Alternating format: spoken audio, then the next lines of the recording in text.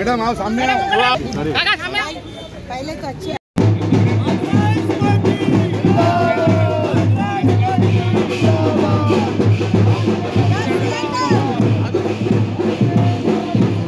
ఏదైనా అభివృద్ధి సంక్షేమం జరుగుతుందంటే కాంగ్రెస్ పార్టీతోటే మహిళా రక్షణ బేసికల్ గా బీజేపీలో మాత్రం లేదు దయచేసి ఆలోచించి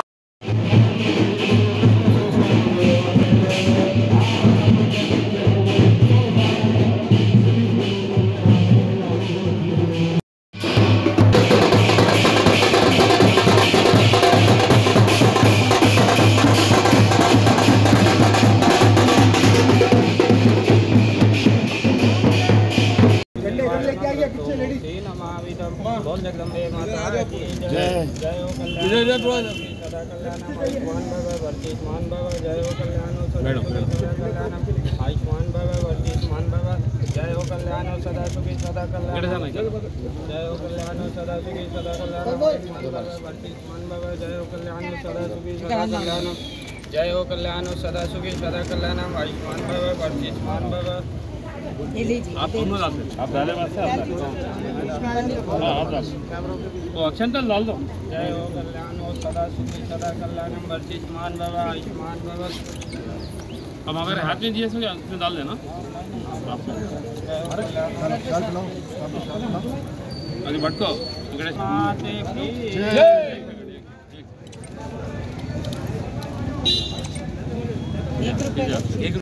अलैकुम और मेरे सारे हिंदू भाइयों को मेरी तरफ़ से नमस्ते। आज 26 अप्रैल 2024 आज हम हमारा पहला पदयात्रा का आगाज़ किए। हम डबिलपुरा कमान से लेके अब यहाँ से दारुशिफा ग्राउंड तक का हम पदयात्रा रखे हैं। आज सुबह 10 बजे हमारे पद- पदयात्रा का आगाज़ था। हमारे साथ हमारे अ, महिला प्रेसिडेंट तेलंगाना स्टेट सुनीता राव जी मौजूद हैं। हमारे and contested MLA Gosha Mahal PCC secretary और हमारे जनरल सेक्रेटरी साहब। हमारे बल्लू किशन जी यहाँ पे मौजूद है। मुजीबुल्ला शरीफ जो चार मीनार के कॉन्टेस्टेड एम एमएलए है। वो भी हमारे बीच में मौजूद है। सत्यनारायण जी पीसीसी सेक्रेटरी और हमारे अली अस्करी बेग हमारे दिलावर भाई हैदर जाफरी ये सारे लोग हमारे सामने मौजूद है और हमारे दूसरे दीगर कांग्रेस के कार्यकर्ता ब्लॉक प्रेसिडेंट डिवीज़न प्रेसिडेंट भी हमारे साथ मौजूद है। हमारे बीच हमारे क्या नाम है? मूसा कासिम साहब जो यहाँ के ब्लॉक प्रेसिडेंट है और हमारे जो है सेवा दल के हैदराबाद डिस्ट्रिक्ट के प्रेसिडेंट भी है वो भी हमारे साथ यहाँ पे मौजूद है। तो अभी हम लोग आ, एक पदयात्रा करते हुए वहाँ से निकले हैं काता रास्ता आए हैं। यहाँ तक पब्लिक में जो जोश देख रहे हैं बहुत देख के खुशी हो रही है। ये महसूस हो रहा है कि आज लोग चेंज चाहते हैं, लोगों को बदलाव चाहिए। जिस तरह का हमको घरों पे इस्तबाल मिल रहा है, उससे ये महसूस हो रहा है कि लोगों को एक बदलाव चाहिए। तो हम हम आपके ज़रिए से लोगों तक ये मैसेज देना चाहेंगे। अगर हम यहाँ पे आपके हैदराबाद पार्लियामेंट में कांग्रेस पार्टी अगर इकतदार पे आती है, हम हुकूमत यहाँ पे हमारा एमपी होता है। तो हम यहाँ पे हमारे जो छः गारंटीज़ है वो तो ऑलरेडी हम लोग छः में से पाँच गारंटीज़ अब तक यहाँ पे हम इम्प्लीमेंट कर चुके हैं। तो हमारा जो न्याय पत्र है राहुल गांधी जी का जो न्याय पत्र है जो कांग्रेस का मैनिफेस्टो है उसके जो पाँच न्याय है ये सारे मज़हबों को दिमाग में रखते हुए सारे मज़हबों के कास्ट को दिमाग में रखते हुए बनाया गया हुआ है। और इसमें सबका फ़ायदा है। कांग्रेस एक ऐसी सेक्युलर सरकार है जिसके साथ जोड़ने का सबका फ़ायदा है। कांग्रेस वो सरकार नहीं है जो मज़हब के नाम पे वोट मांगती है। तो आप सबसे गुजारिश है कि आगे बढ़िए कांग्रेस को एक मौका दीजिए ये वोट दीजिए क्योंकि ये सिर्फ़ हैदराबाद का इलेक्शन नहीं है ये हिंदुस्तान के मुस्तबिल का इलेक्शन है। आपका वोट बहुत कीमती है ये हिंदुस्तान की आने वाली तकदीर और आपके बच्चों का मुकद्दर डिसाइड करेगा। शुक्रिया। पुराने शहर में जब घूम रहे हैं अब आप पहली मरतबा कांग्रेस जो कुछ दिनों के बाद यहाँ घूम रहे थे कैसा पब्लिक का क्या वो है? यह आपका सवाल बिल्कुल गलत है कि कांग्रेस बहुत दिनों के बाद यहाँ पे घूम रही। है। गुज्श्ता एमएलए इलेक्शन में यहाँ पे काफ़ी हम लोगों के पदयात्रा हो चुके हैं। काफ़ी हम लोग यहाँ ओल्ड सिटी में काम किए हैं। हम लोग आज से नहीं पिछले दो साल से ओल्ड सिटी में लगातार घूम रहे लगातार काम कर रहे हैं। आज हम खाली पहली बार वोट मांगने के लिए नहीं आए। लगातार हम लोग काम कर रहे हैं लगातार हमारे जो कॉन्टेस्टेड एमएलए इस एरिया के थे बराबर ही हर गली गली ऑलरेडी फिरे और एक बार नहीं कई बार ये गलियों में। हम लोगों के तो दिल में का क्या वो है? पब्लिक का जो यहाँ दूसरे पार्टीज़ के लिए ज़्यादा होता कांग्रेस के लिए क्या है? मैं वही तो अब ये बताया कि लोग बदलाव चाह रहे हैं। बस लोग बदलाव चाह रहे हैं लोगों के चेहरे पे नज़र आ रहा है कि लोग बदलाव चाह रहे हैं। जिस तरह का घरों की पे, जिस तरह का हमारे को वेलकम मिल रहा है, जिस तरह का हमारी आवभगत हो रही, उससे ये साफ़ नज़र आ रहा है कि लोग बदलाव चाह रहे लोग ये मज़हब के नाम पे वोट मांगने वाली पार्टियों से अब बस बस हो गए। अब लोगों को डेवलपमेंट चाहिए, तरक्की चाहिए, इनके बच्चों के लिए नौकरियाँ चाहिए, अच्छे स्कूल्स चाहिए, कॉलेजेस चाहिए अच्छा हॉस्पिटल इंफ्रास्ट्रक्चर चाहिए। ओल्ड सिटी के जो गलियों में आज हम देख रहे हैं कि यहाँ पे चलने के लिए जगह नहीं है। चल, रोड से ज़्यादा यहाँ पे गड़े हैं। लोगों को भी अच्छे, क्या बोलते सो रोड्स बिल्डिंग इंफ्रास्ट्रक्चर अच्छा ड्रेनेज सिस्टम पानी की फैसिलिटी जहाँ यहाँ पे रेगुलर पावर कट्स हैं। का 24 घंटे करंट चाहिए ये सब लोगों को एजुकेशन चाहिए ये सब लोगों की ख्वाहिश है। तो लोगों के चेहरे पे बदलाव दिख रहा। लोग अब मज़हब के नाम पे वोट नहीं देना चाह रहे और हो सकता है कि इस बार 100 परसेंट होगा जो मज़हब के नाम पे वोट मांग रहे हैं। आवाम उनके मुँह पे काली मिलेगी। आज आपका पहला दौरा है कौन सा कौन सा एरिया में आप दौरा करेंगे अभी हम दारुस दारुशिफा गेट के पास सॉरी हम नबीपुरा गेट के पास से निकले। अब हम कोवटवाड़ी से होते हुए बाल के बाल सट्टी खेत से होते जहाँ मुखा बाज़ार और उसके बाद दारुशिफा ग्राउंड के पास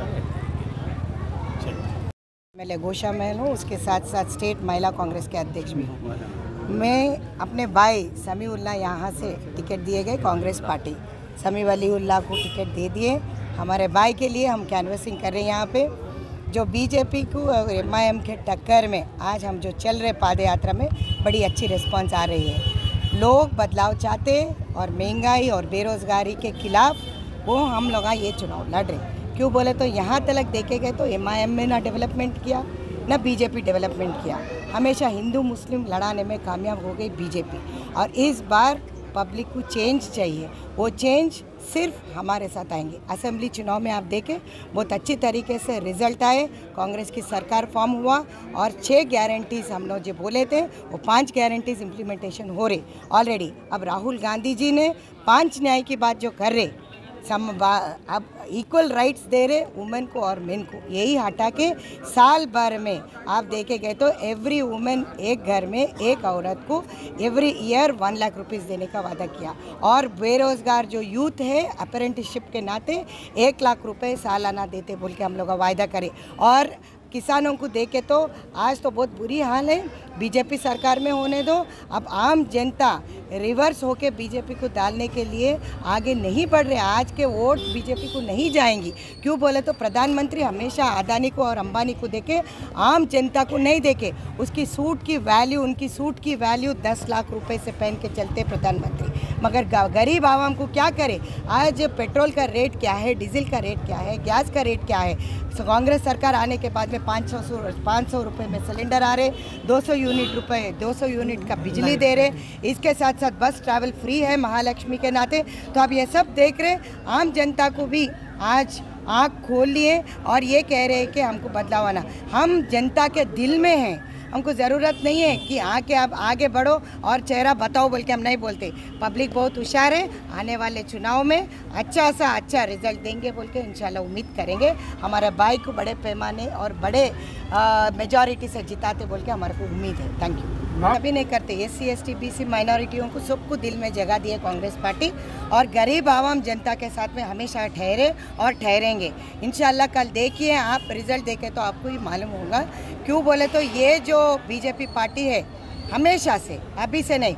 मोदी भी बात करे तो हमारा मंगलसूत्र का बात करे। एक प्रधानमंत्री होके शर्म हया कोई चीज़ छोड़ के प्रधानमंत्री ऐसा बात करे तो हमको शर्मिंदगी हो रही। किस जनाब को हमने पीएम के कुर्सी पे बैठे? और पीएम ऐसा नहीं रहना चाहिए। आने वाले कल में डेवलपमेंट के निनाद लेके हम आगे चल रहे हैं। और- और हमारे सीएम साहब ने जो छः गारंटियों में पाँच कंप्लीट करे पंद्रह अगस्त से पहले किसानों को भी वो माफ़ करते टू टू लाख रुपीस ऋण माफ़ी करते बोल के जो हमारे सीएम साहब ने बोला और चैलेंज भी कर रहे। और ये बीजेपी और बीआरएस को और एमआईएम को तीनों को बी टीम को धक्का देने के लिए कांग्रेस पार्टी उत्तरी मैदान बीजेपी ये बोल रही है कि एम और कांग्रेस दोनों एक पार्टी है हमको वोट दो हम कामयाब करेंगे। तो वैसा है तो हमारे कैंडिडेट आज नहीं रहते थे ना। आज चुनाव लड़ रहे हमारे कैंडिडेट को टिकट दिए माले। हम एक है तो हम टिकट नहीं देते थे। एम आई एम से मुकाबला कर रहे हैं ना। हमारे भाई आसामी वाले उल्लाह कर रहे हैं ना। तो टिकट दिए माले तो इसके मतलब तो हम तो जुड़ के नहीं है। ये बोलने वाले बोलते मगर हमारा पार्टी को एक एजेंडा है। वो एजेंडा पे चलती बराबर इनको टिकट दिए हम चुनाव लड़ रहे खास करके जो जो बीजेपी कैंडिडेट खड़े हुए उनके मसले बहुत ज़्यादा है। हॉस्पिटलों में बोलते उनका हॉस्पिटल भी हॉस्पिटल की तरफ़ से ये चल रहा लेकिन उन्होंने बोलते रहो ज़्यादा बच्चे नहीं करना, वो नहीं करना, थोड़ा सा ये फैला रहे इसके ऊपर कुछ बोलना चाहिए। अपनी अपनी व्यू है।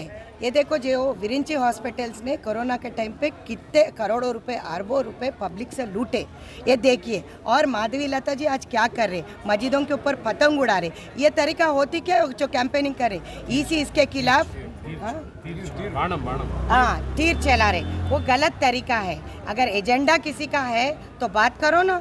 लड़ो। किस मुद्दे पे? गरीबों के मुद्दे पे लड़ो महँगाई के मुद्दे पे लड़ो। हम आज सवाल कर रहे पेट्रोल डीजल का रेट कम करो गैस की रेट कम करो। ये बात नहीं करते माधवी लता जी। क्या कम करते? पहले बोलो बोलो। और गरीबी कैसे हटाते? बोलो बोलो। इसी वजह से इस बार बीजेपी को बहुत बड़ा धक्का गिरने वाली है। और यहाँ पे जो कैंडिडेट कैंपेनिंग कर रहे सोचे थे उन लोगों को बहुत का मगर चीनी मुनी करके किसको टिकट दिए बोल के आप सोचने में पड़ गए बीजेपी वाले।